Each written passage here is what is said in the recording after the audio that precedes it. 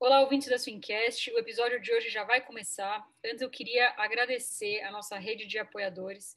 Muito obrigada por permitirem que a gente continue com esse projeto que já está completando um ano. Para apoiar a gente, para quem não conhece, é só entrar em www.apoia.se barra swing-cast. O link está também na descrição dos episódios. Você consegue ajudar a gente com a partir de 10 reais por mês e tem algumas recompensas bem legais também. Também queria pedir para que vocês não deixem de seguir a gente no Spotify, no YouTube ou na rede de sua preferência e também no Instagram, que é o swing.cast. Muito obrigada por nos acompanharem e espero que curtam mais esse episódio.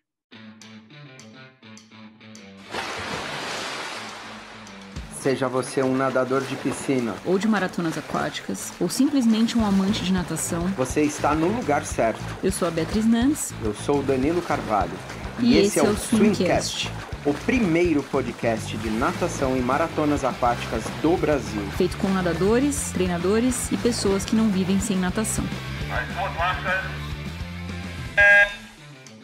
Olá, ouvintes do Swingcast. Hoje nós vamos conversar com um nadador aí que tem mais de 10 anos de seleção brasileira, três participações olímpicas nos Jogos de Sydney, Atenas e Pequim, recordista sul-americano, um dos grandes nadadores aí da nossa história na prova de 200 livre principalmente, medalhista de Jogos Pan-Americanos. Estou falando do Rodrigo Castro. Rodrigo topou conversar com a gente aí diretamente de Belo Horizonte. Obrigada, Rodrigo. E para começar, eu queria que você contasse um pouco como que começou toda essa história, né? Como é que foram os seus primeiros anos na natação? É, eu comecei a nadar no iate da Pampulha, né? E sempre gostei muito de nadar, né? Meus, meu irmão mais velho, até além da natação, fez um futebolzinho, salão, etc. Mas eu nunca tive interesse. Meu negócio sempre foi nadar. E logo quando pequeno, eu mesmo pedi para minha mãe, ela tinha um, um, um, amigo de colégio que na época era, era da era diretor no Minas. E ela mesmo dizia: ah, se você gosta mesmo de nadar e quer continuar, você tem que ir para o Minas, né? Porque lá você tem, vai ter um futuro, né? Se é isso que você quer. E eu, já de novinho mesmo, eu eu tinha certeza que era isso que eu queria. E ela foi mexer os pauzinhos, comentou, porque a gente não era sócio do clube, né? Aí ela fez a solicitação para o amigo dela, conhecido, né? E eu, logo de novinho, entrei lá como militante, atleta militante da natação. Isso foi em julho de 89. Eu tinha 10 anos de idade, né? E quando eu fui para Minas, as, as coisas foram aquele aquele sonho foi foi despertando, foi aumentando cada vez mais, né? Cada ano que passava a vontade de, de ir para a Olimpíada, né? O sonho ele ia aumentando, inclusive porque nessa época você vai é, tendo mais discernimento do, do que é o esporte, né? Do que é competição, etc. Nessa época é, eu já via, é, eu já tinha visto a Olimpíada de Seul, né? Meio que tenho poucas memórias, né? Memórias de criança dela, mas já já obtinha ali o, o, o Rogério que saíram na televisão, o Gustavo, né? Com, com a questão da medalha lá. É, na verdade, a medalha do Gustavo foi em Barcelona, né? Desculpa. Mas os, a, a, gente já de novinho já ficava ali, né, antenado com a turma mais velha. Desde novinho eu, eu era um bom atleta, mas não era um, um, um campeão assim de categoria, né? Eu ganhava os um, ficava em segundo ali no Mineiro, terceiro no Mineiro, etc. E foi com 15 anos, num brasileiro juvenil lá no Rio, que eu consegui a minha primeira medalha de brasileiro. Foi um terceiro lugar, né? E daí, ah, realmente, a, a, confiança foi crescendo e a vontade de, de, de ser atleta olímpica cada vez, cada, me, cada vez mais aflorava assim no coração, né? Porque sempre foi um, um, desejo meu interno, assim. É, sempre veio lá de dentro ser, ser nadador, né? Nessa Sim. época aí desse brasileiro juvenil que você ganhou sua primeira medalha e aí esse sonho ficou um pouco mais concreto, né? Com quem que você treinava? Como que eram os seus treinos? Você lembra? Lembro, lembro sim. É, até, até chegar esse momento aí, Danilo, é, entre os 12 e os 14, é aquele momento que você não tem certeza, né? Daquilo que você quer realmente, né? É, é até natural, né? A imaturidade, ela gera questionamento. Eu acho que deve ser natural para todos nós, é, deve ter sido assim para todos nós, né, nessa fase. Inclusive meus meninos estão aqui escutando e, e, estão nessa fase, né? Nessa época eu sempre gostei muito de cavalo, né? E a gente, meu pai sempre teve fazenda e tal, e eu sempre curti cavalos, né? E eu tinha eu tinha é, um ou dois cavalos que a gente ficava brincando de saltos, né, lá na fazenda. E eu tinha amigos que faziam hipismo, né? E nessa época eu quase larguei a natação por conta que eu gostava tanto de cavalo que, que eu fiquei dividido, né? Nessa época de 12 anos e tal. É, mas, no fundo mesmo, eu, eu, eu tinha uma vontade maior, que era nadar. E a outra, o outro amor da minha vida meu é, foi a música, né? Eu sempre curti muito música. E eu fiz piano até os, até os 12, 13 anos ali. E eu tive que largar tudo nessa época para a, natação, né? Tive que abdicar das outras vontades e desejos pelo desejo maior que era de ser nadador. Né? Então, por exemplo, a professora na época queria me levar de qualquer maneira para estudar música no conservatório. é, o pessoal queria me levar para o hipismo, mas eu acabei ficando na natação. E o primeiro prêmio aí, o, o pontapé inicial foi com foi com o Mauro, né? O Mauro que hoje é, é chefe do departamento é, de base, né, lá do Minas. Inclusive, hoje ele treina meus meninos. É, a minha primeira medalha de brasileiro veio com ele, aos 15 anos de idade. Né? Até ali, eu tive é, alguns treinadores que, que me marcaram, por exemplo, o, o, o Roberto, né, que foi o treinador que, quando eu entrei no Minas, eu comecei a nadar com ele. É, depois Abel, né? Isabel Miranda, que hoje está no Flamengo, que foi recordista sul-americana, e, e o Mauro, né? O Mauro, é, nesse pontapé inicial aí de juvenil, foi minha primeira medalha de brasileiro, veio com ele. E aí, na sequência, quando eu entrei para Júnior, eu já passei a treinar com, com a equipe principal, né? Quando eu fiz ali os 17 anos de idade. E aí nos brasileiros de categoria, eu sempre ficava ali em terceiro, segundo.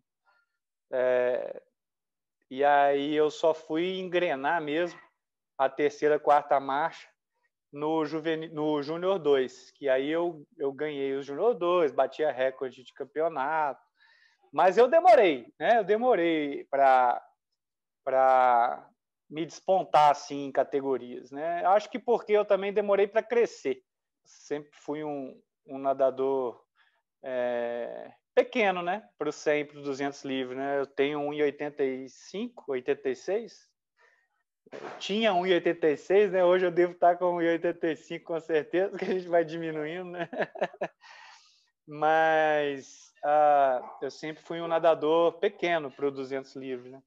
Por ser pequeno e demorar a crescer, né, que eu fui dar minha espichada de, com os 18, né, entre os 18 e 21, né, é, meu irmão, uh, que é dois anos mais velho que eu, já foi diferente, ele com 15 anos já tinha 1,80m, né, eu com 15 anos estava ali no 1,75 ainda, é, em paralelo aí, né, eu sempre tive vontade de ir para os Estados Unidos, porque eu via uh, o Gustavo, né, é, participando da, das Olimpíadas e é, geralmente o, o, o, o, como é que fala? O, o repórter lá conta a história do, do, atleta, né? E a gente fica cativado, né? Então, a, não era só o Gustavo que treinava fora, né? Michelena treinou fora, Teófilo treinou fora. Então, todas aquelas pessoas que a gente se espelhava, né? E via, né? Naquela época, treinavam fora. Então, uh, eu cresci com essa questão aí, né? De querer treinar fora. E aí eu nessa época aí de júnior eu passei a escrever cartas para as escolas lá lá fora. Não sabia nada de inglês e naquela época era carta mesmo, né? E a gente ficava naquela expectativa, era engraçado, né? Mandava a carta, a carta levava uns 15, 20 dias para chegar, o cara respondia mais uns 20 dias para voltar. E aí vinha a carta em inglês, a gente não sabia ler inglês, aí dava para um amigo ler. Era uma diversão, né? Até que eu recebi alguns convites. Uh, eu recebi alguns convites de Ohio State na época, de Louisiana State, algumas outras. Uh, mas eu estava doido para ir para Califórnia, né? Então eu ficava de olho em Berkeley e mas não sabia nada de inglês, né? Então era complicado porque eu não tinha as provas, não tinha nada. E acabou que o Maurício Cunha na época, nadador de borboleta da seleção brasileira, é, estava em Louisiana State e me chamou. Ô, oh, Rodrigo, eu vi que você mandou a carta aqui, ele me ligou, na verdade. É, tem a possibilidade de você vir para cá. É, a gente tem um programa aqui de inglês para estrangeiro. Talvez você venha, aprenda inglês, em contrapartida o técnico te conhece e quem sabe você não não ganha bolsa e tal. E com toda a coragem e a vontade que eu já tinha, né, é, eu até tinha feito vestibular aqui passei para engenharia elétrica. Eu cursei um mês e desisti. Aí eu falei: ah, não, eu quero ir para fora. Quero ir para fora, esse negócio de engenharia tá com nada. E aí, no ano seguinte, já ah, encaminhado lá com, com o Maurício Cunha, né, me, me recebeu na casa dele, me né, agilizou a questão lá, me ajudou bastante para ir para conhecer uma universidade nos Estados Unidos, né? E eu cheguei lá, né, e obviamente com a estrutura toda a gente fica é, encabulado com aquela estrutura, né? O campus sempre muito bonito, né?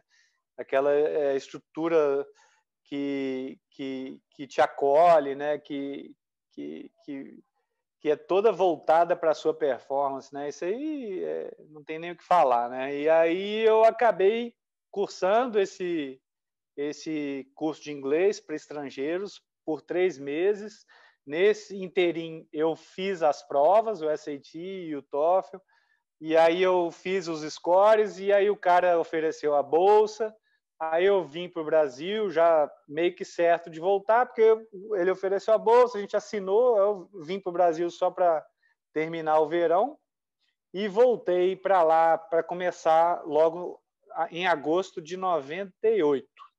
Nessa época aí, eu já eu já estava ali nas beliscando ali as, as finais de Troféu Brasil, né? Semifinais, né?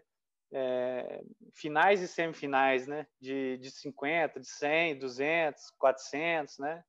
É, as 200, por exemplo, que era a minha melhor prova, eu ficava beliscando a final ali, né? Um oitavo, um sétimo, tal.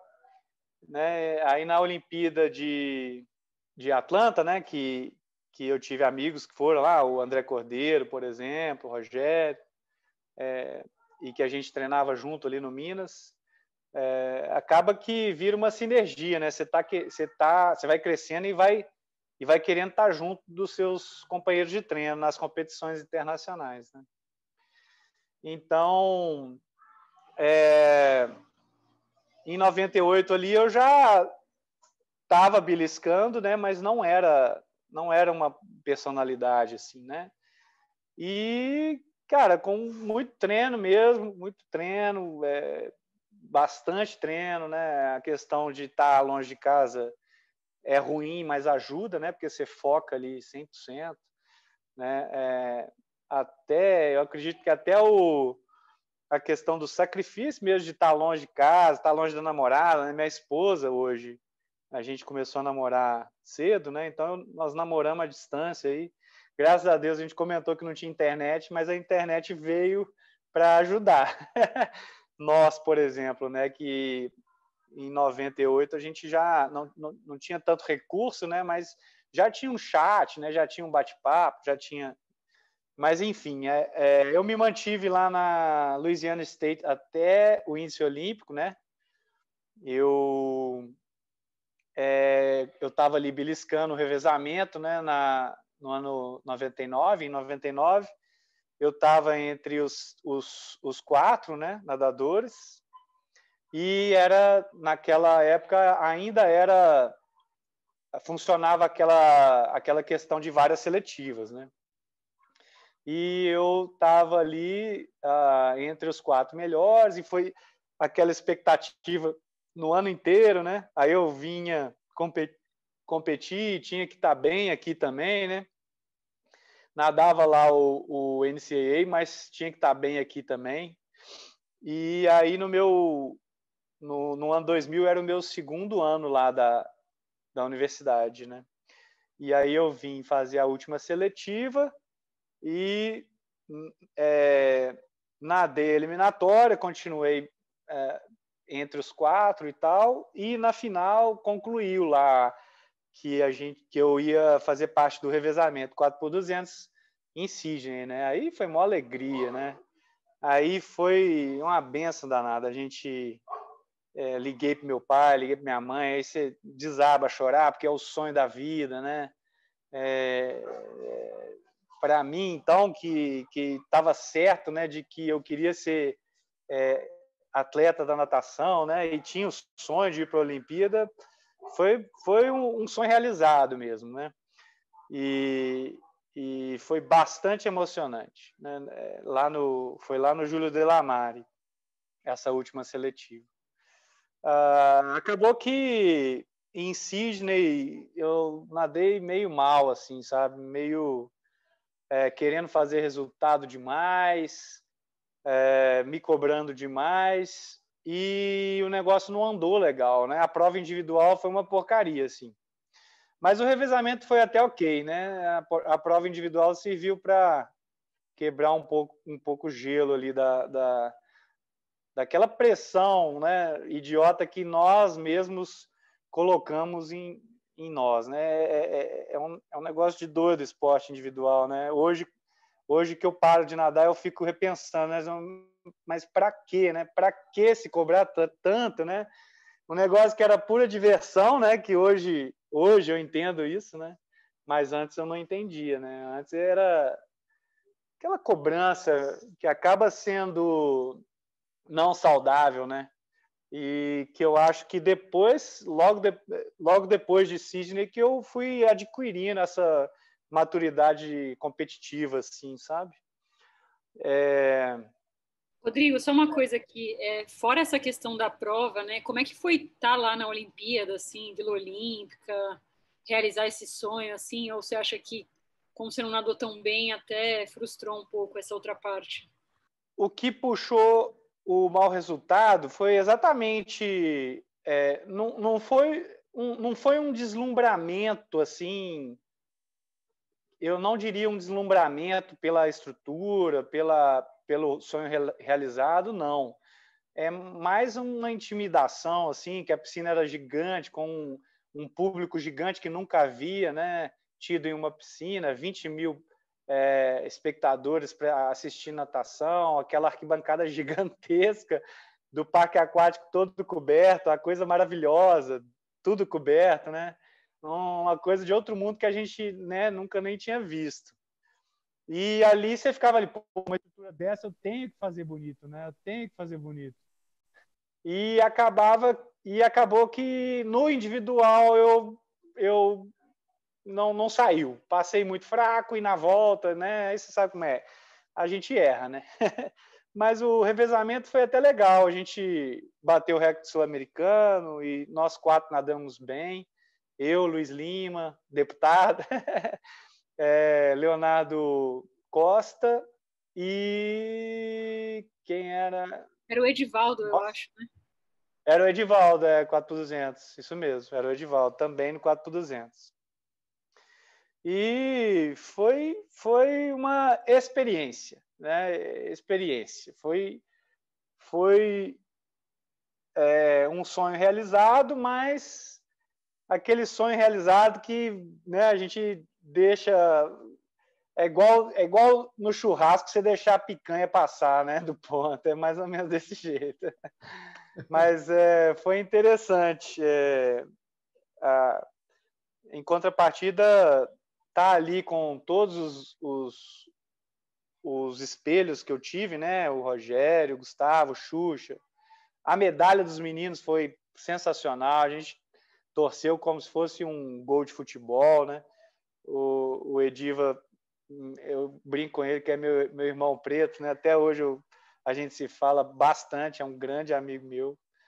É, e isso que essas competições trazem, né, de, de maior valor, assim, a, os vínculos que você faz ali para a vida toda, né?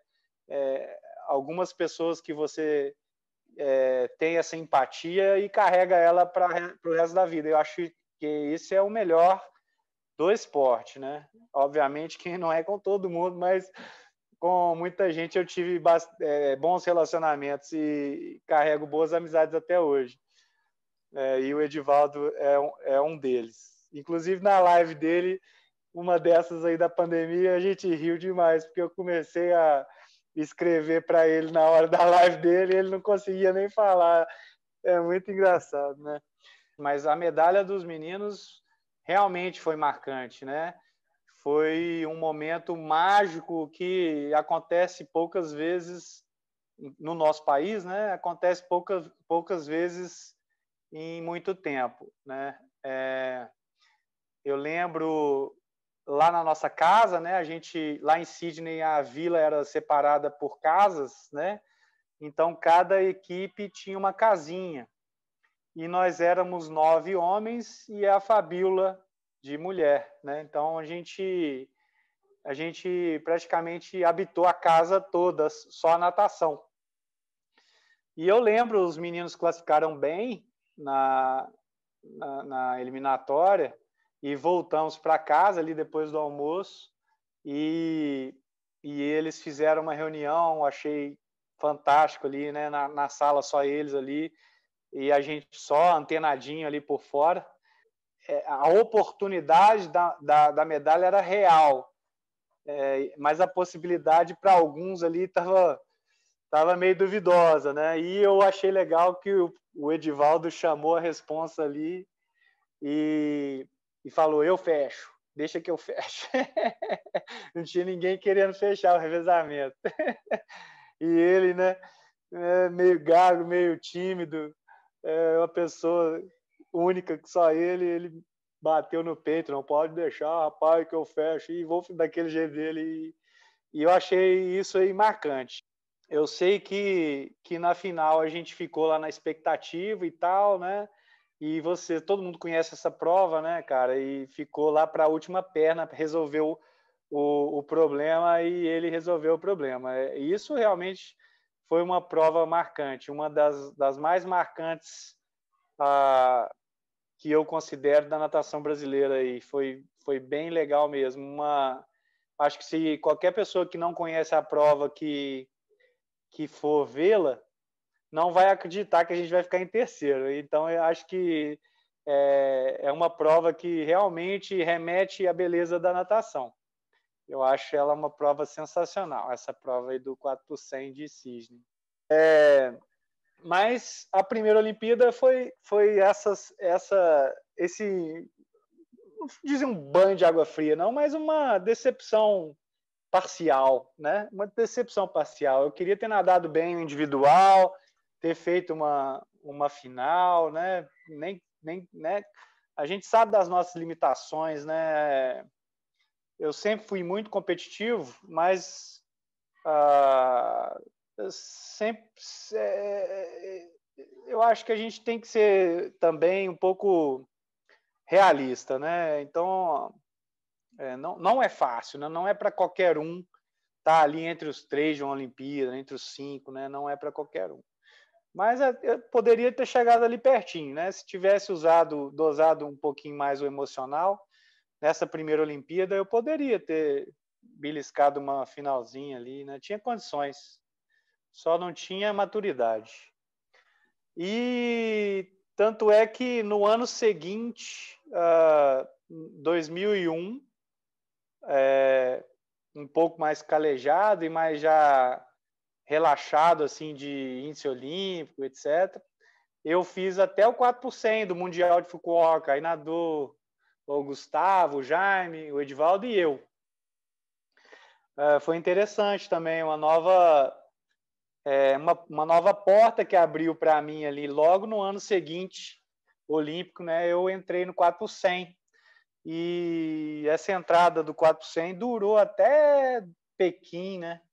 Eu não fui uma grande estrela assim na natação, mas eu acredito que eu tenha sido um dos mais estáveis nadadores do Brasil, né? É, em termos de resultado, assim, né? É, é, dificilmente eu nadava uma competição mal, né? Então eu tinha essa vantagem sobre um monte de outro, outros maiores talentos do que eu, né?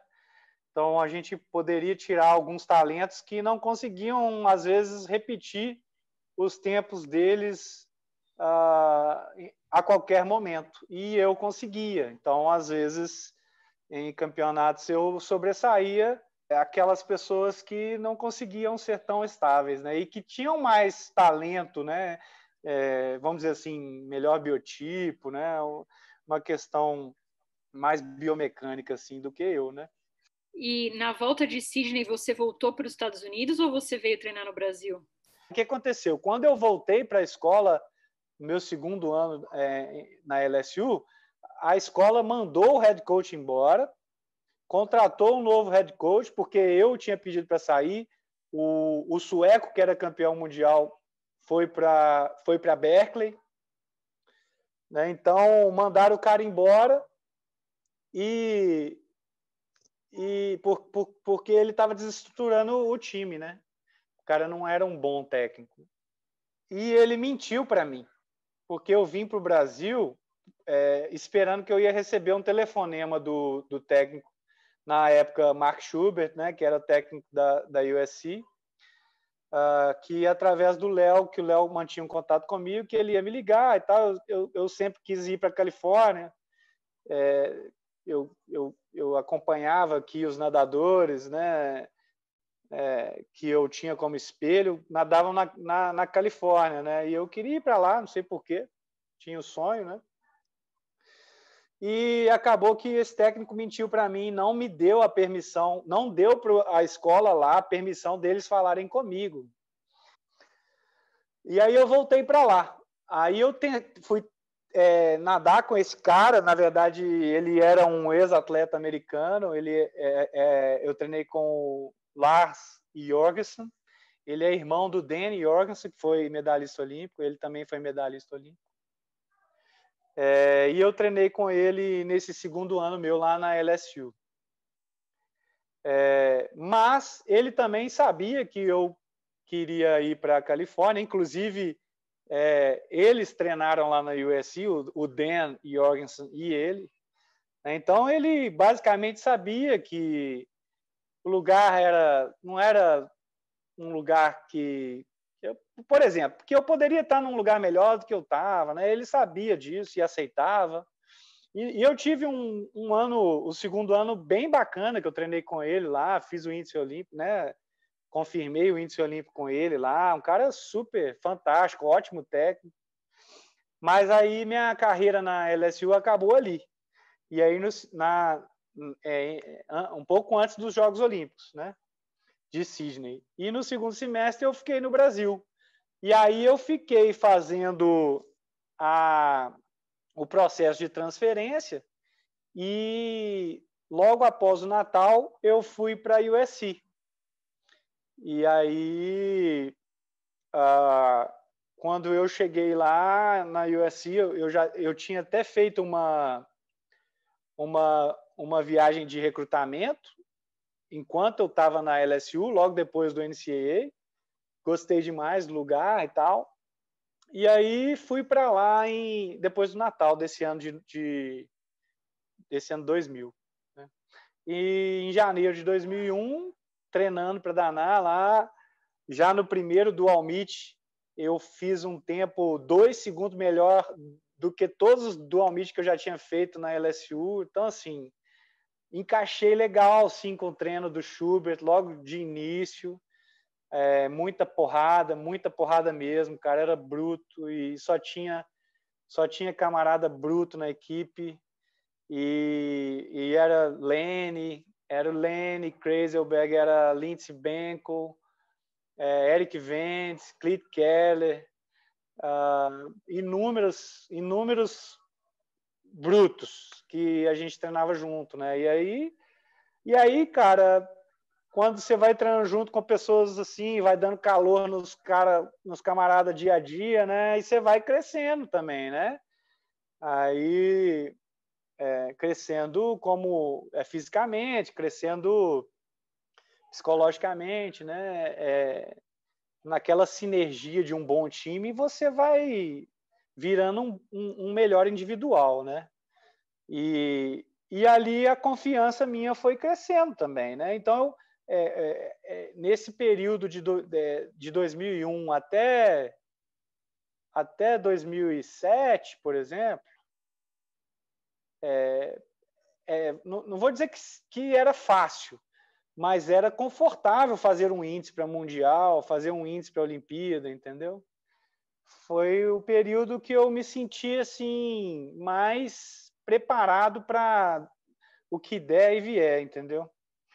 É, e aí eu nesse período da USC, da USC eu, eu nadei super bem o PAN lá de, de Santo Domingo, é, individual, ganhei medalha individual, até então, até então é, não tinha, né? Eu não tinha medalha individual, era só de, de revezamento. A, a medalha do Mundial de Curta, do 4 200 também foi nessa época. o índice olímpico de, de Atenas é, não foi tão sofrido quanto foi em Sydney, né? Não foi tão sofrido quanto foi em Pequim. Então foi, eu acho que esse período foi o período que eu que, que eu consegui encontrar meu espaço assim no cenário uh, internacional, né? Mesmo não não tendo sido nenhuma estrela, né? Mas eu eu fiquei mais perto das estrelas aí nesse período aí. Você curtia treinar? Você, você era um cara que gostava de treinar ou você curtia mais competir? Uai, segue, segue meu Instagram que você vai entender. A gente faz uns treininhos malucos até hoje, sabia, ô, Bia? Eu faz vi esses dias aí você postando uns treinos que eu falei assim, cara, isso não é treino de master, o cara era carroceiro. É, eu sempre gostei de treinar, sempre mesmo. É, na verdade, é o que eu mais gostei. Tem, é, a gente vê aí, a maioria das pessoas, elas, elas curtem é, competição, mas repudiam o treino, né? Eu era o oposto. Eu, eu, eu sou apaixonado, até hoje, no trabalho. Eu prefiro a rotina do que as questões... Ah, é, fora da rotina, assim, uma reunião uma fora, uma visita técnica. É legal também, mas eu curto a rotina, eu sou operacional, né? eu sou uma pessoa do dia a dia, sou uma pessoa que, que senta na mesa, por exemplo, é, olho no computador, 8 horas da manhã, só, só tiro o olho do computador às 18 horas. É, eu sou desse tipo de pessoa. É, e na natação é, era só era só a, o reflexo desse meu perfil, né? Eu, eu, eu, sempre curti acordar cedo, né? Na época, hoje não tem tanto, né? Mas na época tinha treino de madrugada, né? Na época que eu digo, quando eu era adolescente, né? É, tinha treino de madrugada e eu morava longe do Minas, então eu acordava ah, 40 minutos antes de todo mundo da equipe, né? Porque eu morava a 40 minutos do clube. É, enfim, e aí quando eu fui para os Estados Unidos, eu me encontrei, porque lá era muito volume de treino, muita porrada, é, treino de madrugada todo dia, é, duplo três, quatro vezes na semana. Na verdade, na USC eram quatro vezes, água, água, e eu me senti em casa, né? Inclusive em todos os sentidos, porque quando eu cheguei em Los Angeles, é, eu me encontrei sim é, como um cidadão é, meio americano também, sabe? Eu, a, a, equipe era mais era mais engajada, assim, unida, né? É, a equipe era mais perfil de brasileiro, assim, não não não perfil mais a uma equipe mais alegre, mais mais contagiante, né? A cidade, né? Tinha muita coisa para fazer. É, é, eu nunca tinha morado na praia, eu, eu, pegava onda mais ou menos, mas lá eu aprendi realmente a pegar onda, coisa que eu sempre gostei. Então, assim, eu me encontrei. Eu me encontrei ali, achei bem bacana o lugar, a equipe, sensacional. Foi lá que eu comecei a gostar de morar fora, de morar nos Estados Unidos. Por exemplo, quando eu tinha que voltar para os Estados Unidos na época de Louisiana, você precisa de ver como era no aeroporto, era aos prantos, né? E aí, quando eu me mudei para Califórnia e ia voltar para Los Angeles, eu, eu, ia embora rindo. Aí a Aline, né, minha esposa, ficava com ciúme, né? Falei, pô, antes ele chorava, agora ele tá rindo, né? Que isso, né? Então era tipo assim, não, tchau, gente, já já eu volto, né? Então, assim, foi a salvação de, de morar fora para mim, porque eu sempre fui uma pessoa uh, muito é, caseira, né, com a família, uh, eu com a minha família e ela com a família dela, essa questão de morar na Califórnia superou essa questão de, de, de homesick, né, que a gente fica quando está longe da família. Então foi um período assim muito mágico mesmo na minha carreira, foi ter feito o restante da faculdade lá na, na, na USC, né? Eu, eu cursei dois anos em o, o freshman e o sophomore eu, eu, eu, eu cursei na LSU, fiquei meio, meio semestre aqui no Brasil, e o junior e o senior eu cursei na USC. Então eu fiquei três anos lá uh, e dois anos em Louisiana. Foi, foi, foi bacana. Os três anos foram muito bem vividos, foi muito treino, é. muita porrada, muita diversão com a galera. É, muito bacana. É, só para só falar aí do, do Instagram, eu tinha visto quando você colocou no dia 24 de dezembro, aí recém completando 42 anos, ele fez um aquecimento, aí a série eram 10 de 200 a cada 2,40, nadando para 2,25, 20 de 100 a cada 1,20 nadando para 1,7, 40 de 50 a cada 40 nadando para 32, 33 de braço, tá? Palmar e flutuador aí. É, tipo isso. A gente encontra uns malucos que ainda quer fazer isso junto com a gente até hoje. Né, eu tenho uns companheiros aí, é, o, o, Luiz Renato Topan, que é um triatleta fenomenal aí na categoria dele, é top 2 aí, é, campeão, vice-campeão mundial de triatlo, e ele foi nadador e ele gosta de encarar esses desafios e o, e o velhinho é bruto no palmar, hoje ele está com 55 e, cara, é bem legal quando você tem pessoas assim que, que gostam de encarar o desafio da dor, né? Que não é, não é tanta gente, né? Você tirando os fundistas assim, é, você achar um meio fundista meio maluco assim é difícil de achar, né? Geralmente é o fundista mesmo que encara essas doideiras aí. Mas é, a gente tem outras pessoas que a gente chama de time alvorada, né? Porque a gente está lá todo dia às seis da manhã no Minas até hoje, né? Antes do trabalho, a gente encontra lá, né? E cada um trabalha com um tipo de coisa, né? Mas é, o negócio está tão bacana que às vezes uma pessoa do nosso time Alvorada tem amanhã, por exemplo, mais flexibilizada, mas ele vai às seis da manhã para curtir o time, sabe? Então nós estamos com uma sinergia tão bacana, cara, que, que dá gosto, assim, sabe? Dá gosto de ter amizades como essas, cara. É, o cara não ganha nada, né? Ele não ganha nada assim, é, é, em teoria, entre aspas, né? Só perde, né? Porque acorda cedo, né? Na chuva, no sol. Aí a gente inventa uns treinos desses aí, né? Mais mais forte, né? E a galera encara, bota pé de pato, bota palmar para acompanhar. é uma diversão que a gente tem, cara. Para mim é uma terapia além da música, né? Para servir como válvula de escape do trabalho é o treino de manhã e a música que eu tenho uma banda aí, né? Que a gente toca e ensaia uma vez por semana aqui em casa. É...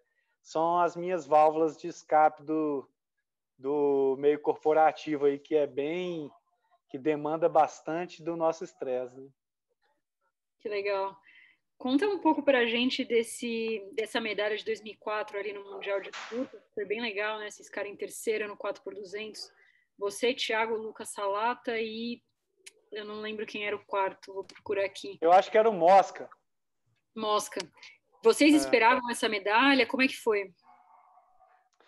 É, nessa, nessa época aí, é, todo o campeonato de curta que a gente ia, a gente beliscava um, um, um quinto, um quarto, né? É, muitas vezes a gente poderia ter ganhado as medalhas, né? Mas um, é, eu até, até me frustro um pouco, né? É, porque como equipe a gente tinha pessoas que para beneficiar o individual, não nadava o revezamento, né? É, e eu ficava frustrado, né? Porque, pô, a prova que me colocasse para nadar, se, é, é, seja fosse Troféu Brasil ou fosse qualquer coisa, eu nadava, né? Pela equipe. Mas quando a gente chegava na seleção, não acontecia dessa forma, né? Então eu me frustrava um pouco, né? Porque é, eu sempre me doei assim é, é, o esforço, né? Meu esforço assim, meu sangue, eu sempre doei ele para a equipe que eu estava, né? É, independente se era a seleção brasileira ou Minas Tênis ou ou a USC, né? É, e isso a gente aprende lá fora, né? É, dual meets, por exemplo, é, é um ótimo teste, né? Porque você está ali tendo que nadar três provas no mesmo dia, né? E aí tem prova que é dois, três minutos depois da, da primeira prova, né? E você tem que se virar, né? E fazer acontecer. E o brasileiro não está acostumado com isso, né? É, ou às vezes até tá, né? Teve, passou por lá, né? Mas quando voltou para o Brasil, é, né, se, se sentiu um, pouco mais privilegiado e, e pensou só mais nele. Né? Essas coisas me frustraram um pouco. É, é, as, essas coisas que eu digo, nadar em revezamento na, nas equipes brasileiras, né? Eu, eu até eu até gosto de falar que, que o, meu revezamento, né? Porque eu tive nesse 4200 por tanto tempo, é, de 98 a 2012, né? Eu tive nesse revezamento sem sair dele, né? A, o único mundial que eu não participei foi porque o revezamento não foi. Foi o de 2005, se eu não me engano, no Canadá. Foi um desses aí. Então, nesse, nesse meio tempo aí, de 98 a 2012, o único, a única seleção que eu não peguei foi porque o revezamento não foi. Então, é, eu sempre tratei essa prova como o meu revezamento, entre aspas, né? É, e ali, cara, é, eu, ach, eu, eu, queria que todos estivessem ali é, com o mesmo sentimento que eu, que eu tive, né? Obviamente, muitas ocasiões, nós quatro estivemos na mesma sintonia. Por exemplo, o Dupan do Rio, é, eu, Salatinha, Tiago e Nilo, é, é, era aquilo ali que eu desejava ter como, como um bem né, material em toda a minha carreira de 4 por 200. aquele envolvimento que a gente teve ali e, e aquela sinergia de estar tá todo mundo em prol daquela prova, sabe? É, eu acho que é, aquele revezamento ali do, do Rio, apesar de eu achar que eu poderia ter nadado bem melhor, é, mas a gente bateu o recorde pan-americano, beleza. Mas não é a questão do resultado em si, mas a, o engajamento das quatro pessoas ali foi um diferencial entre todos, eu acho. Eu acho que aquele ali realmente foi. E eu queria que todos eles fossem dessa forma. E, e de certa forma, eu me sinto um pouquinho frustrado, né? Mas natação é meio individual e meio coletivo, né? Então, é, a parte do revezamento, eu tive é, muitas glórias é, e algumas frustrações. Mas é, a vida é assim, né? Não, a gente vai aprendendo. É, para os nossos ouvintes entenderem, né, essa medalha de ouro aí no PAN de 2007 foi a primeira derrota dos Estados Unidos na história do PAN no 4 por 200 livre, né? Então, é, essa prova começou no PAN em 1951. Os Estados Unidos ganhou 14 vezes e aí pela primeira vez o Brasil conseguiu superar os Estados Unidos aí. Uma prova muito emocionante. É, Rodrigo Castro fez parte aí dessa seleção, muito legal. E, mas voltando, só para a gente não deixar passar, conta um pouquinho como é que foi a experiência em Atenas, né? Lá você nadou o 4 por 200, o 200 livre e também o 4 por 100 livre. Atenas nós nós batemos também o recorde sul-americano, apesar de não ter classificado para a final, nós batemos o recorde sul-americano.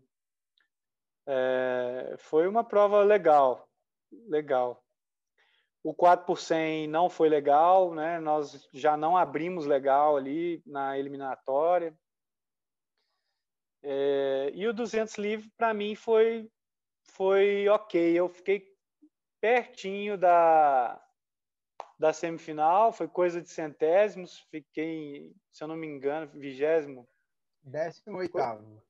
É, tipo isso, cara. Eu fiquei frustrado para danar, porque eu queria repetir aquilo ali e queria nadar a semifinal ali. Eu estava bem fisicamente, estava bem psicologicamente, mas ali você vai entendendo que que a geração ela vai ela vai se renovando, né? E aí a gente saindo de Atenas, eu começo o, o meu último ciclo, né? Que, que eu não gostaria que, na verdade, eu achava que seria o meu último ciclo, né? Já vinha entendendo que, que o ciclo das gerações ela vai se renovando, né? Então as pessoas, é, os meus adversários aqui no Brasil e no mundo iam ficando cada vez mais rápidos, né? Por exemplo, é, foi ali que o Nilo começou a, a, crescer, né? Foi ali que o Thiago começou a, a crescer nos 200 livros também, né? É, e lá fora outros nomes, né? Então, é, eu mesmo mesmo estando ali no, no bolo, eu já já não estava com a mesma vibe ali do, do ciclo anterior, né? Que, que eu tinha uma autoconfiança, que eu vinha um índice, eu sabia que eu ia fazer e tal, né? Nesse ciclo aí foi um pouco mais difícil, né? Inclusive aquele mundial que eu citei, é, ele foi depois de Atenas, né? É, e, e ali eu via dificuldade, né? Pô, um índice individual, pô, esse índice vai ser vai ser bruto de pegar, né, tal. Mas enfim, quando chegou perto de, de, de Pequim ali, é, soltaram os índices, né? E, e veio um índice muito forte, né? Eu tinha na época um 49 e o índice era um 48, 47, se eu não me engano. No, an, no ano antes de Pequim, 2007, de, logo depois do PAN, eu tive que operar o joelho, foi um negócio desse. E eu, é, foi em agosto ou setembro que eu tive que fazer uma artroscopia no joelho. E, e a gente tinha trocado de técnico, né? Não, eu já estava com Vanzella. É, não, já estava com Vanzella. Tudo, tu já tinha. É, tava o ciclo inteiro com Vanzella ali. E a primeira seletiva olímpica ia ser lá no Pinheiros no final do ano. Eu acho que até tem esse videozinho no computador aqui em casa. É, e eu operei o joelho e fiquei ali, artroscopia simples e tal, mas tirava a gente da água, né? É, aí eu operei o joelho, fiquei fora d'água. Na sequência já tinha a Copa do Mundo, coisa de três semanas depois, né?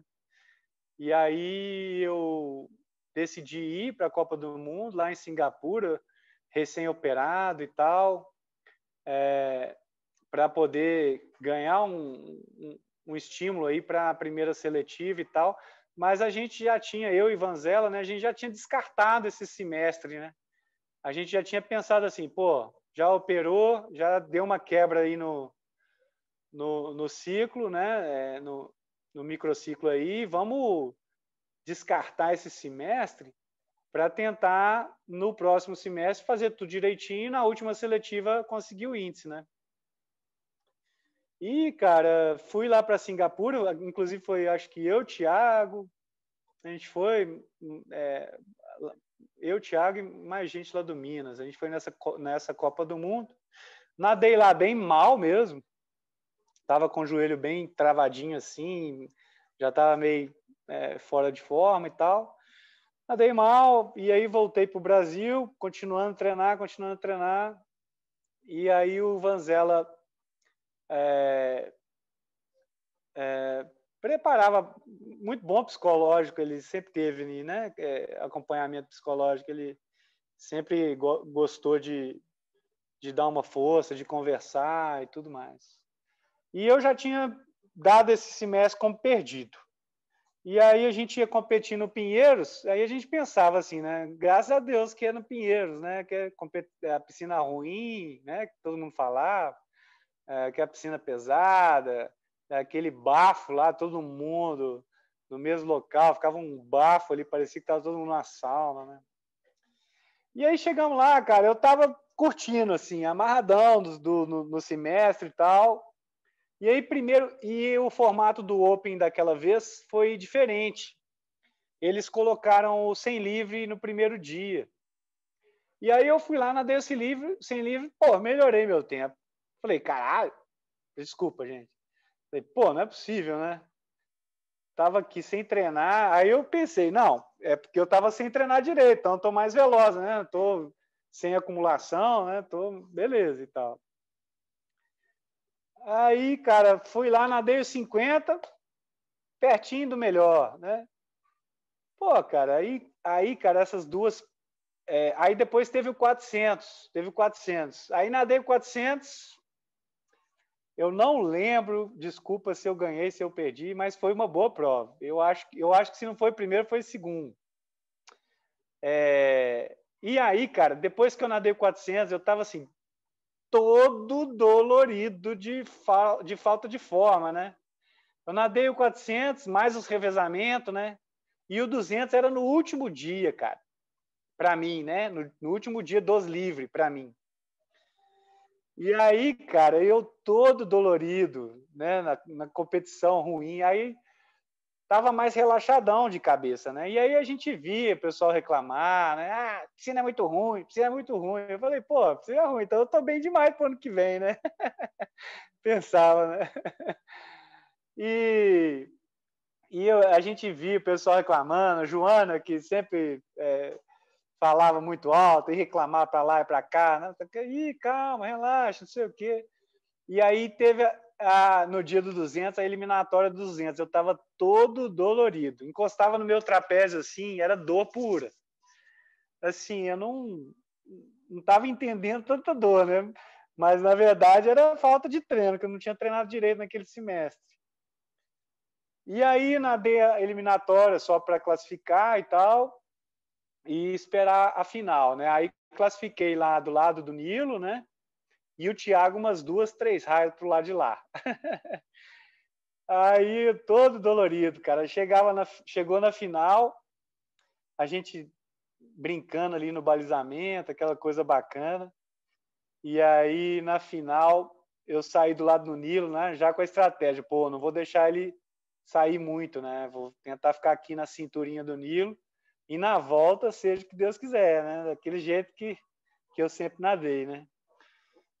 E, cara, fui nadando, aí passei do lado dele e tal, aí do 100 para o 150, comecei a pegar ele devagarzinho, devagarzinho, na virada do 150 estava mais perto. Aí eu virei quando ele foi morrendo, aí você vai crescendo, aquela coisa toda, cara. E eu, apesar de estar tá todo dolorido muscularmente, eu cheguei, cara, quando eu bati, olhei no relógio, cara, eu tive uma surpresa boa demais, cara. Eu tinha feito o índice olímpico. Aí eu não acreditei, cara. Eu desabei de chorar. Foi uma explosão, cara. Uma sensação bacana. Que para mim foi uma das. Uma não, foi a prova mais marcante da minha vida inteira. Foi essa prova, cara, porque era um semestre que eu tinha jogado no lixo. É, não que eu não tinha treinado, né? Eu ia no treino todo dia, mas eu não podia dar o meu 100%, que é coisa que eu sempre fiz a vida inteira, né? Eu não poderia dar meu 100% todo dia, porque o joelho estava operado e tal, não sei, tinha limitações, né?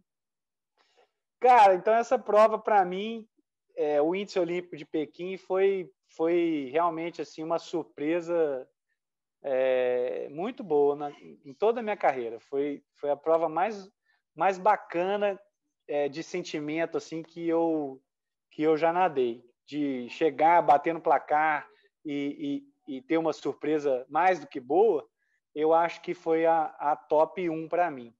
Né? E aí, cara, veio 2008 a confiança no talo, né? Porque eu já tinha feito o índice, né? Naquela época era eu e o Nilo mesmo, né? O Thiago nem nadava 200 livre, também é, naquela época eu tinha o tempo é, é, mais rápido e tal, então não tinha muito ameaça, né? É, e aí, cara, eu relaxei para 2008 e aí no, no, na última seletiva eu estava é, na eliminatória do 100 livre, eu estava balizado do lado do Cezão e fui nadar eliminatória do, do 100 do lado do Cezão. E aí, mesma coisa, né, cara? Eu pequenininho, né? Pulei do lado do Cezão. E aí, passei ali na cintura dele, volta, volta, volta. Pum, cara, fiz um tempão, assim, para mim, né? No sem livre. E aí, fiquei com, com entre os quatro do 400 de novo, né? No, em Pequim também, na eliminatória. Né? E aí, fomos para a final e tal. É, confirmou lá o, o, o, o, quarto melhor. Eu fiquei no quarto melhor tempo lá para Pequim. E aí foi também a surpresa super boa, né? Então 2008 assim para mim foi muito bom, porque aí eu, nós fomos para a Olimpíada, eu bati o recorde do Gustavo lá em Pequim. Aí eu peguei é, a final B, né? Peguei a final B que eu sempre quis pegar, né? Obviamente, né? Eu queria pegar uma final A, né? Queria ganhar medalha, né? Mas não era para mim nessa vida, não. Talvez na próxima. Mas foi foi super legal que é, eu, eu, consegui, é, na verdade, antes da final do 200, da semifinal, a Aline é, me, me deu uma caixinha de presente com o sapatinho do, do, do, do, filho, entre aspas, né? Naquela época a gente nem sabia que ia ser gêmeos, né? então eu entrei na final lá, fazendo o, o neném do Bebeto, né? O neném lá no colo e tal, aí todo mundo viu, aí foi bem bacana, cara. Ali foi tudo de bom, porque esse ano eu, eu tinha tido uma das melhores provas individuais, é, melhor tempo da Via 200, melhor tempo do 100, é, é, notícia que ia ser pai, recorde sul-americano. O ano de 2008, para mim, foi muito abençoado, sabe? 2008, que eu digo desde a seletiva de Natal de 2007, né? Na verdade, 2007, 2008, né? Foi, foi uma dobradinha muito bacana na, na minha carreira, assim. E, e aí, cara, a gente partiu 2000 e, depois de 2008 para o meu último ciclo, né?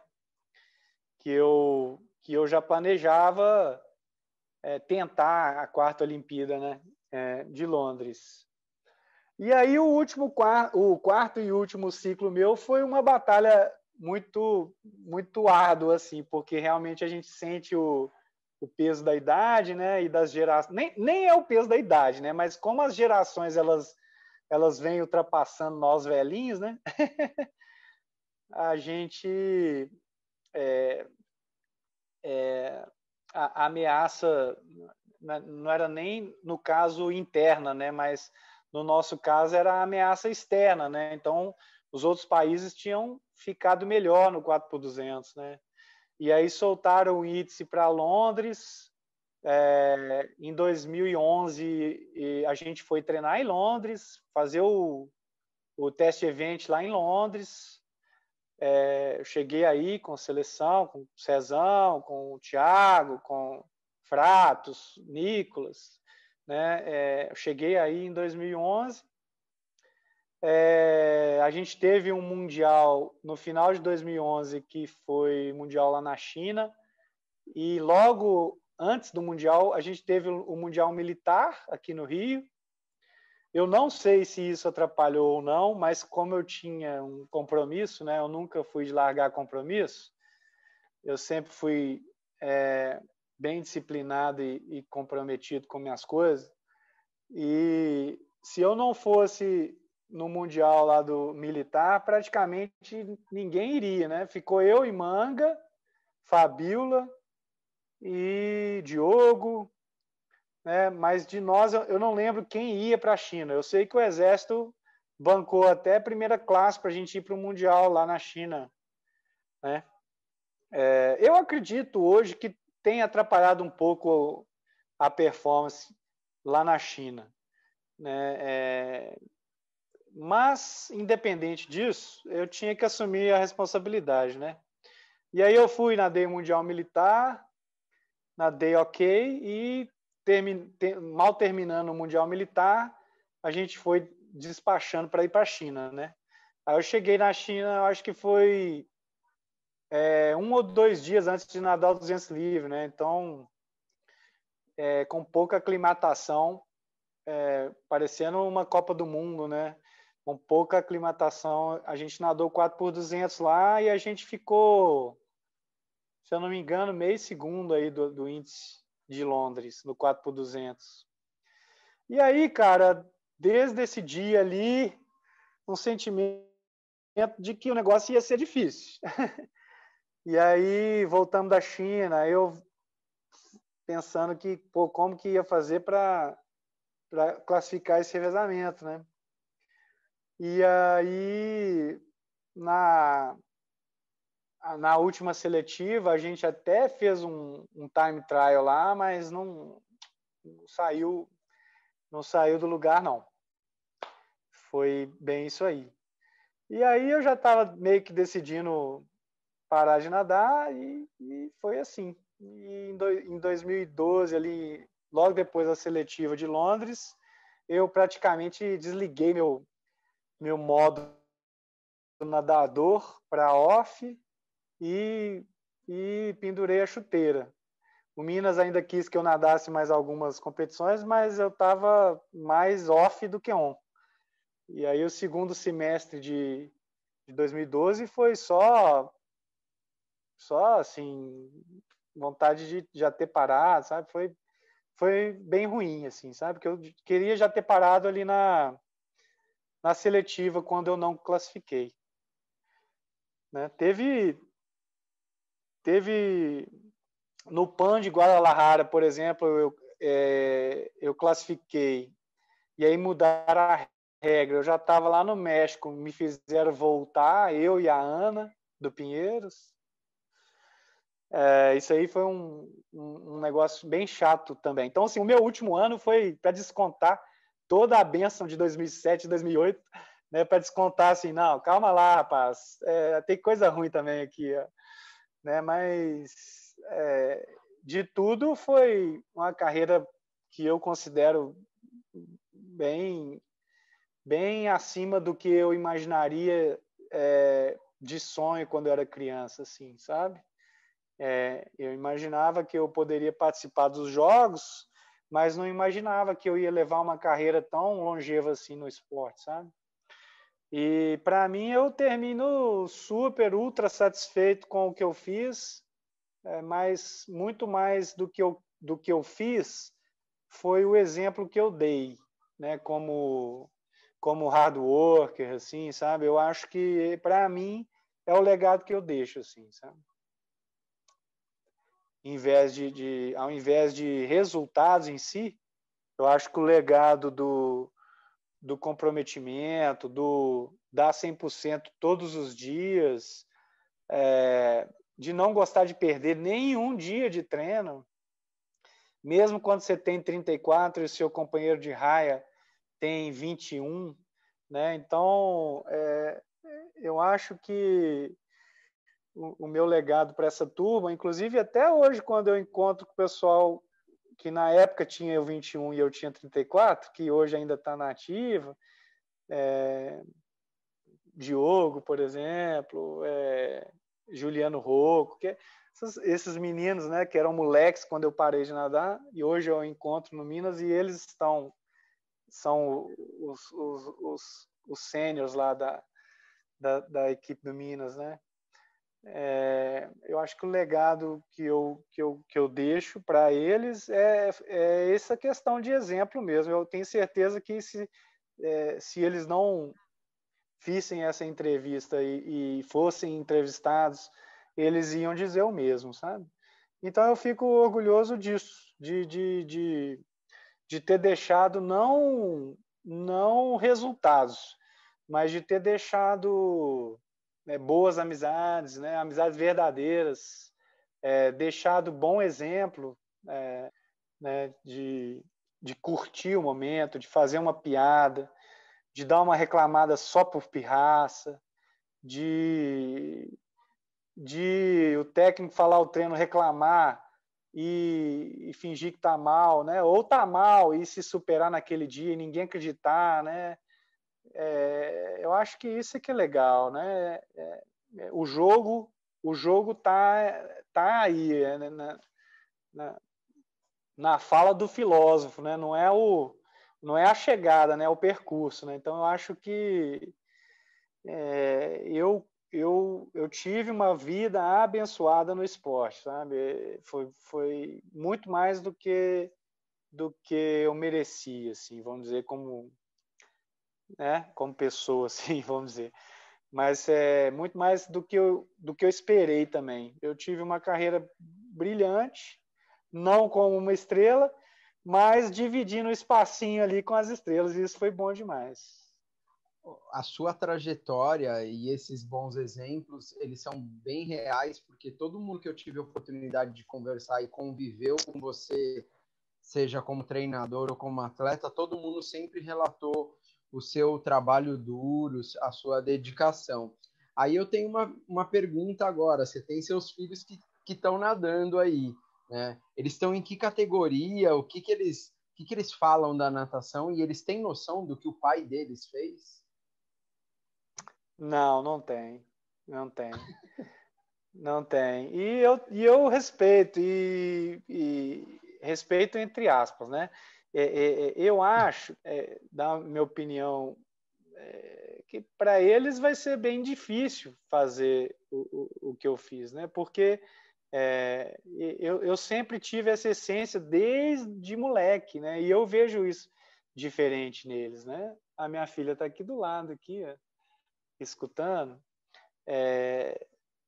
mas o brilho que eu tinha no olho, desde moleque, eles não têm, sabe? Então, e, e são, isso é coisa que, que é de essência mesmo da, da pessoa, né? Então, mas para mim, assim, é, tanto faz, né? Se, se, se quiserem seguir ou não, tanto faz.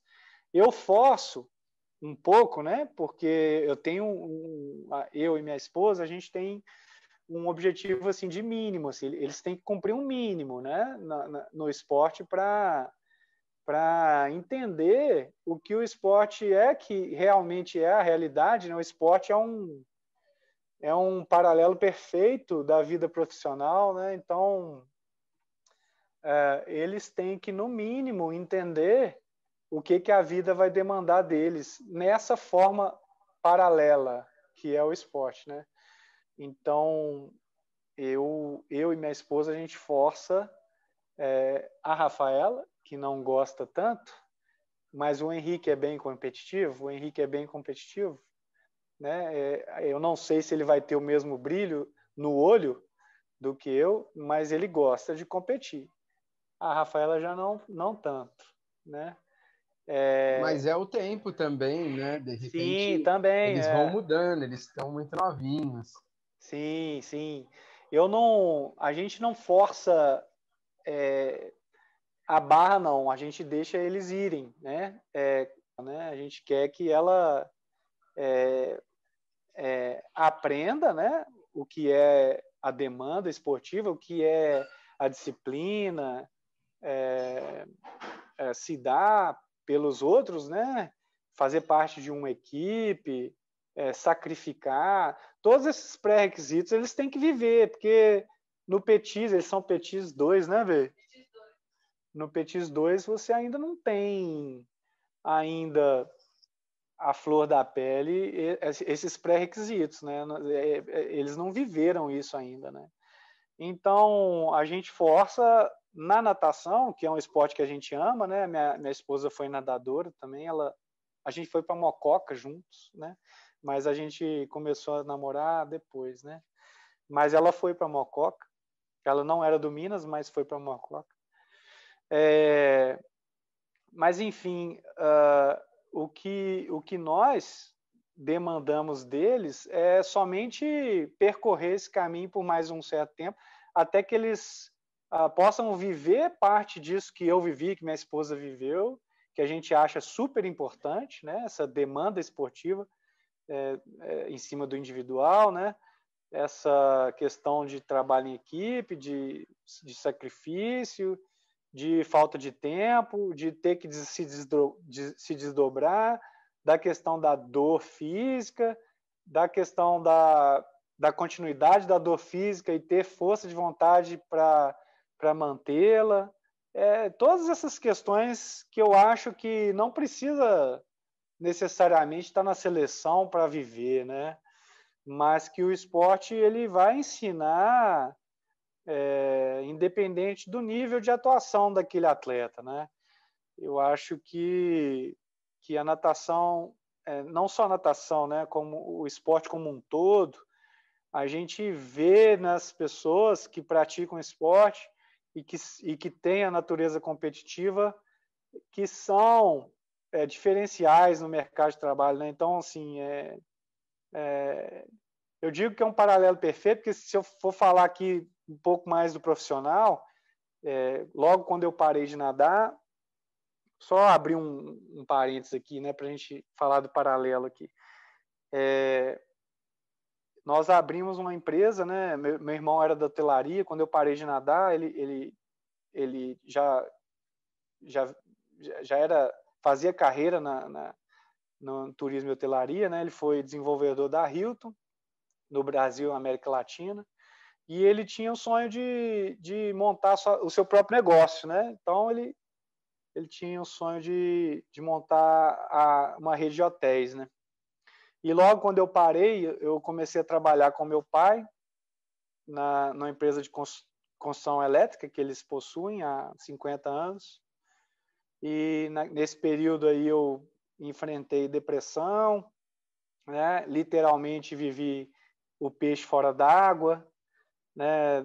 De um meio onde eu era respeitado, pessoas falavam comigo como vocês estão falando, né? Com olhar de respeito pelo pela carreira, pela dedicação, pelo, pela história que eu deixei e tal, mas que lá ninguém nem conhecia, ninguém estava nem aí, né? Então, você sai de um meio que você tem respeito e que e tudo aquilo lá é, é tratado com mimo, né? E vai para um lugar onde você é só mais um e um, um ambiente que você não conhece nada e tem que aprender tudo, né? É a força, né? mesmo trabalhando na empresa da família, olha para você ver que, que, que, que, paradoxo, né? Trabalhando na empresa da família e, e se sentindo a coisa mais insegura e, e, do mundo, né? Um trem de doido. E nesse período que eu trabalhei lá, é, foi muito bom para aprendizagem, né? De despertar assim o que é o mercado, né? O que é o que é fornecer para um cliente, né? O que é ter um cliente. É, e foi bem legal. E nesse interim, 2013, ele já tinha um business plan né? é, da rede hoteleira. Né? E ele me convidou, olha, velho, eu tenho isso aqui e tal, você quer? Eu falei, nossa, na hora, né? Eu sempre corri risco, né? Sempre fui é, individualista, assim, até certo ponto, né? E fui com ele, né, e com a esposa dele, a gente montou a Samba Hotéis na época, né? A gente brinca até hoje com investidores nossos. A Samba Hotéis era a rede de hotéis com 100 hotéis, 100 com S, né? A gente começou a, a rede Samba Hotéis com 100 hotéis. É, é, e, cara, é, o que eu fiz na natação, cara, a gente está fazendo aqui, né? É, tipo assim, não tem segredo, cara. Você acorda cedo, tá no trabalho, trabalha igual um maluco, assume risco, é, tenta se superar todo o tempo. É, é, basicamente o que acontece na água, cara. E hoje eu, a gente pode falar que a gente está naquele caminho lá do do Juvenil Júnior 1, né? na empresa, né? E, e, a gente já começa a ser conhecido no mercado, né? A gente já está top 20 das redes do Brasil, sem ter colocado praticamente um centavo na empresa, né? Lógico, né? Colocamos capital próprio, mas não temos capital de terceiro. Então, assim, é um feito, cara. A gente, a gente enxerga uh, o nosso, a nossa caminhada até aqui, lá na, na, na, na empresa, eu, na verdade, enxergo a nossa caminhada na empresa até hoje, que fazemos sete anos, né? Fazemos, vamos completar sete anos agora aí. É um paralelo perfeito, cara. A gente entende que eu, né, entendo que é uma questão de tempo, a gente evoluir cada vez mais. Daqui a pouco a gente pega um índice para o sul-americano, né? A gente pega um índice para o pan-americano lá na empresa, né? Então assim, cara, é não tem segredo, né? É, eu gosto também de fazer um paralelo muito bacana da longevidade é o seguinte, cara, a nossa empresa, por exemplo, é, faz tudo por dentro, emitimos todas as nós, não tem nada de rolo, não tem sonegação, o que, o que faz muito mais é, o, o, o, resultado ser mais difícil, mas é, a satisfação da vitória é muito maior. Né? Então, é, a nossa empresa tem governança, tem, tem compliance, apesar de ser pequena. Né? Então, é, num paralelo aí, é, perfeito com o esporte, a questão do doping, né? Então, muitos meninos novos aí acham que o doping vai fazer com que eles resolvam o problema da vida deles, né?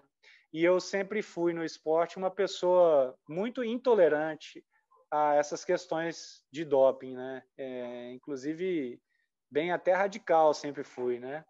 Eu já tomei 10 pontos é, na primeira seletiva de de, de Londres, que foi lá no Delamare, eu estava treinando, é, é, eu não lembro se era o Scott, né? Estava treinando lá no Minas e eu fui sair da piscina fazer um tiro e meti o joelho no bloco. Aí abriu o meu joelho. Isso nunca tinha acontecido, nunca tinha encostado o joelho no bloco, né? Um dia antes da seletiva, dois dias antes, eu levantei o joelho, saí da piscina e meti o joelho num ferro lá e abri o joelho, né? E aí o Teófilo e o André Cordeiro é, me pegaram ali e me levaram lá na enfermaria. E aí a enfermeira, não, vai ter que dar ponto. Aí fomos lá na, na, na departamento de medicina. E aí o doutor Rodrigo olhou, meu xará, né? é, e tal, ué, vamos ter que dar um ponto aí, cara. Eu acho que vai ser uns sete ou oito pontos aí, se não for dez. Aí eu perguntei para ele, pô, doutor, é, você vai dar anestesia, mas a anestesia sai no DOP? Aí ele falou, cara, eu não sei te falar isso agora, cara, mas nós temos que dar ponto. Você não pode voltar aqui amanhã até fazer pesquisa, tem que dar ponto agora, senão. E eu tava de sunga, assim, né, cara, lá no departamento é, de medicina, eu falei, ah, então taca os pontos aí mesmo sem anestesia, né? E aí, cara, é, aí o TT me deu uma toalha lá, botei a toalha no dente, igual o Rambo mesmo. E aí o médico foi e, e costurando, né? E aí costurou um, costurou dois, costurou três. Então, assim, eu fui bem, bem radical essa questão de substâncias, de, entre aspas, suplemento contaminado. Então, eu preferia nem tomar para não correr o risco, sabe? Então, eu acho que o esporte, cara, ele é realmente um paralelo perfeito do que é a vida aqui fora, sabe? É, e, e, as lições de vida que eu tive lá é, são impagáveis. Impagáveis. Eu poderia fazer cursos e cursos e cursos em, em várias universidades, em qualquer país do mundo, que não iam me ensinar o que o esporte me ensinou, eu tenho certeza. É, graças a Deus eu conheço o mundo inteiro pelo esporte, né? A gente teve é, condições de conhecer pessoas do mundo inteiro, ter amigos do mundo inteiro e, e entender que, que foi importante né, é, esse estilo de vida para o meu aprendizado e para minha carreira hoje. Né? Então é isso, cara. É, é, esse é o motivo que a gente força os moleques, né, os nossos moleques aqui, a ficarem um pouco mais no esporte, para eles poderem ter um gostinho do que é, é, esse estilo de vida, né? E quando eles estiverem é, calejados quanto a isso, né?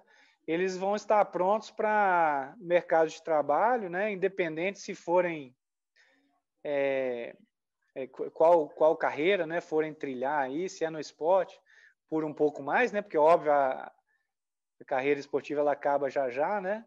É, ou se já vão começar novinhos aí na própria carreira, como, como o que for, né? A gente incentiva aqui é, não escolher a carreira assim, é, ah, é, quero ser médico porque médico dá dinheiro. Não, a gente incentiva aqui é realmente ser hard worker, entendeu? É, eu acho que nós, nós, eu e meu irmão, por exemplo, tivemos um, um puto exemplo dentro de casa, né? Meu pai, por exemplo, é, nunca vi meu pai é, é, doente em casa, de cama, pra você ter uma ideia. então, assim, é, ele é uma pessoa muito caladona, assim, né, meu pai? Então, é, a gente aprendeu com ele realmente pelo exemplo, né? Ele praticamente não precisou falar nada conosco, porque ele se, se ele fala é, é, é, duas palavras por dia, assim, então. E eu acho que é mais ou menos esse perfil que a gente quer dos nossos moleques na natação. E por isso que a gente escolheu a natação por, por tudo que ela me deu, né, de aprendizado, é, além, além de é, nem, nem contaria bem material não, mas o aprendizado é, intelectual mesmo né, e, e, e, e, de sofrimento, né, porque eu acho que a gente aprende bastante é, com sofrimento e com, e com sucesso, né, com vitórias. E, é isso que a gente quer deles, né? Que se, se eu posso responder sua pergunta com grande efetividade, Danilo, eu acho que foi respondido. Eu acho que é, dos meus moleques, a gente quer eles eles tenham esse gostinho de vitória, de fracasso, de dor, de disciplina, de, de acordar cedo e de tudo isso aí, cara. Não tem, tem mistério, não. E de não ter frescura, sabe? Eu acho que. É, eu acho que eu também deixei um legado a, esse, a essa altura aí. É, eu sempre fui uma pessoa que nunca tive muita frescura, não, sabe?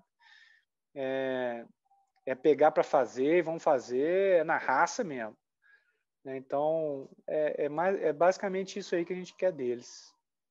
Pô, legal demais, cara. Muito obrigada. Se, se tiver mais alguma coisa que você queira falar, fica à vontade, mas brigadão por tudo aí. A gente adorou conversar com você.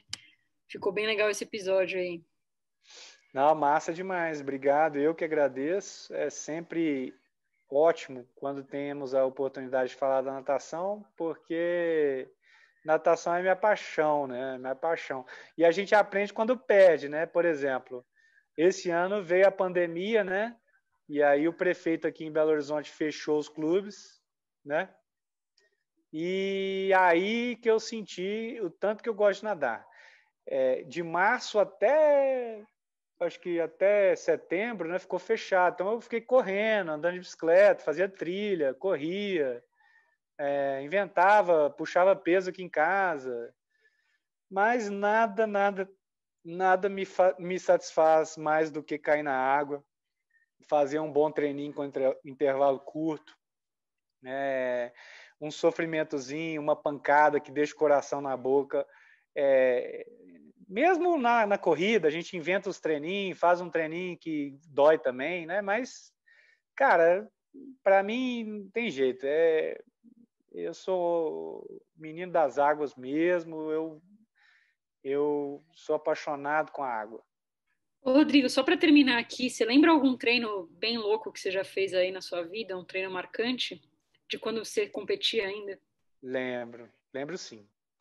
É, tem um que ficou assim bem marcante na minha cabeça, eu lembro dele até hoje, porque foi um dos melhores treinos que eu fiz na vida, né? E, e, eu não sei se vocês têm referência do Mark Schubert, né? Mas o Schubert ele sempre foi um cara assim brutalidade máxima, né? Dos, dos ícones dos brutamontes técnicos do mundo é ele, né?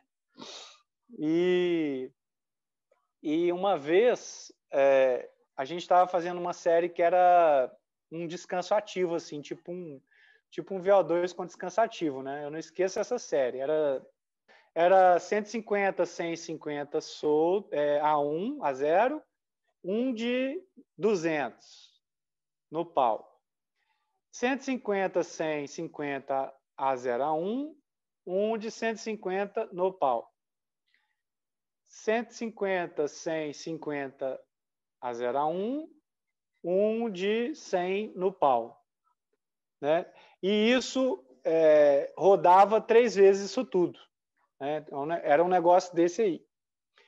E a gente, cara, tava mantendo assim nos, nos tiros fortes, mantendo é, ritmos frenéticos, assim, tipo, na época, né? Pra época, a gente sabe que hoje em dia os moleques tão fácil, não, né? É, os fortes, todos assim para baixo de. Os, os, de 200, por exemplo, fazíamos 1,57. Os de 150 fazíamos assim 1,27, 1,26. Os de 100 fazíamos tipo assim 55. É, e, foi, e, foi, e foi indo, né? Foi indo. É, Isso era na longa. Na longa, na longa.